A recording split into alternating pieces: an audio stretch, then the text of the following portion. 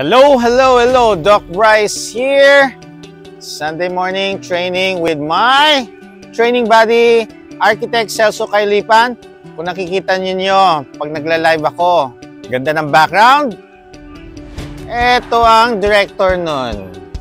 And we're going to have a long ride for today, 100 kilometer. Then siguro tingnan pa natin kung makakarun. Ang gagawin namin training ground is in here, Clark, Pampanga, yung tinatawag na wall. So, kailangan may ahon din. And, syempre, ikot-ikot.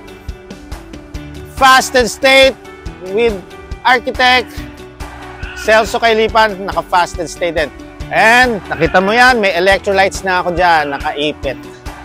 So, electrolytes lang ang aming uh, nutrition here for this training. When we adapt, we will evolve. Bye!